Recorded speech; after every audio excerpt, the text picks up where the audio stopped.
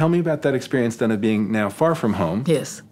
And encountering voices from even other parts of the world. You know, I came through, even in college, I came to the study of cinema and in fact before that the study of theater really through a political question you know can we affect the world in any way with something that is considered artful you right. know or art itself yeah. so my influence even to join the theater was that question and it was the same question that led me into the study of film but the initial initial initiation into film as a study came from a documentary filmmaking course that I studied at MIT with the amazing Ricky Leacock, and then later his friend D.A. Pennebaker, who really, if I have a mentor at all, it would be Penny.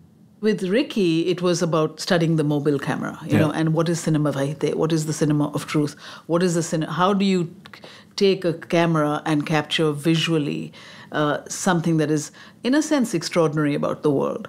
And that immediately got me because that was a way. Uh, before that, I had studied quite seriously photography, you know, with Mitch Epstein, with Ben Lifson, with then later Garry Winogrand, and so on.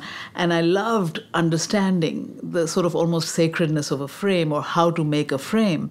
But at the same time, photography for me was like an not an engagement with life; it was more an observation of life. Mm. And what then the documentary, the cinema verite studies gave me were the ability to engage right there right, with to bring a your social self, to bring the social self to it, to get into a to get into a moment that's really happening, yeah. you know, uh, but also visually happening, you know. So it was that was the first entry into taking cinema seriously.